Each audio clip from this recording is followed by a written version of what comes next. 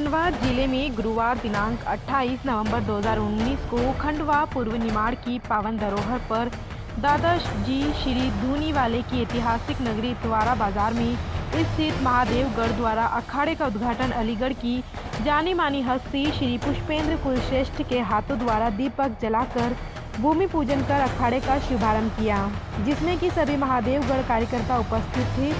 सभी ने मिलकर हर्षोल्लास के साथ सहयोग दिया और आतंकवाद मुर्दाबाद इनकलाब जिंदाबाद का नारा लगाते हुए पहुँचे। बड़ा बम चौक जहाँ पर शहीद सीताराम का परिवार भी शामिल हुआ।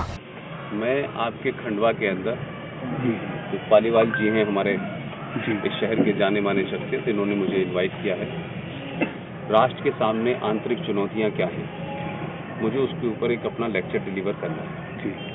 यहाँ मैं एक अखाड़े के भूमि पूजन के लिए आया था। इस वक्त पूरे देश के अंदर एक बड़ी बात यह हुई है कि पिछले एक हज़ार साल के बाद भारत में एक विवादास्पद जगह बना दी गई थी जो विवादास्पद नहीं थी।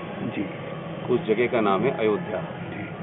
अयोध्या में भगवान श्री राम का मंदिर बने कहाँ बने इस विवाद में पिछले डेढ़ सौ साल से मुकदमा चल रहा है। इसमें काफ़ी सारे लोग मारे गए और देश विदेश में बड़ी धमकियाँ दी गई। इसी के सिलसिले में बॉम्बे में बम धमाके हुए और उसमें तमाम राजनीतिक दल शामिल थे।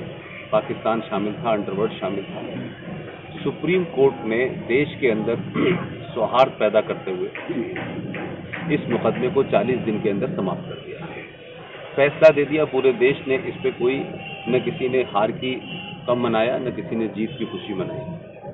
मेरे बात कहने की सिर्फ़ इतनी है कि मैं सुप्रीम कोर्ट से अपील करना चाहता हूँ कि एक हज़ार साल के बाद देश जो है इस मेच्योरिटी पे पहुँच गया है कि देश में ऐसे विवादस मामले जो हैं वो सारे खत्म किए जाए और आगे भविष्य में जो जनरेशन आए उनके सामने ये विवाद न फिर खड़े हों और फिर इस देश में खून खराबा ना हो।